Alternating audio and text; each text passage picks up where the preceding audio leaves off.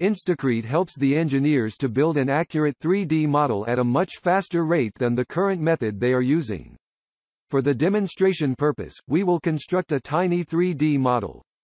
To begin with, click on the RCC CAD tab, select the Grid tool. In the Grid Manager, we will have two horizontal grid lines spaced at 4.5 meters. Using the non-uniform option we can place grid lines at a non-uniform distance. Then we will have two vertical grid lines at 5 meters. Let us add levels to the project. Select the Level tool, add 6 levels at 3 meters. Non-uniform distance tool helps to place the levels at a non-uniform distance. You can use the level tool from any view. In the project browser, you will notice all the added levels. To add foundations, we will use the Foundation tool. The grid column lists all the grid points.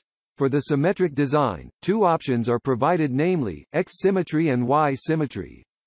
Let us select the proper size of the foundation to place it at the relative grid intersection point. According to the project need the user can attach the data like username, phase, concrete mix and the cost to the footing. Hit the OK button to place all the foundations. The columns are added using one of the two tools. Let us use the single-level column tool. In the column manager select the base level as level 1. The top level will be second level. Select X or Y symmetry according to the design need. The grid column shows all the grid points. The column base column or foundation shows the foundation size below the selected base level. Select the column size. The user can apply various offset values like top or base offset and X or Y offset. Hit the OK button to place the columns. Instacrete has given four tools to add the beams to the model. We will use Quick Beam tool. Select Level 2 for reference level, select appropriate beam sizes. The user can add offset values and add data according to the design requirement. Hit the OK button to place the beams. To add the floor to the model, select Structural Floor tool.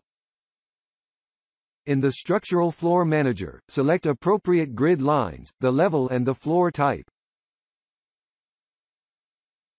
Select the Flat Slab option to build a flat slab in the model.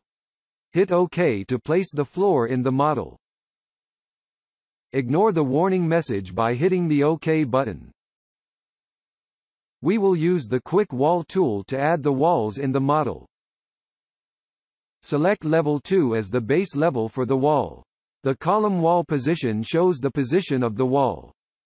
After selecting the wall types, hit OK to place them in the model.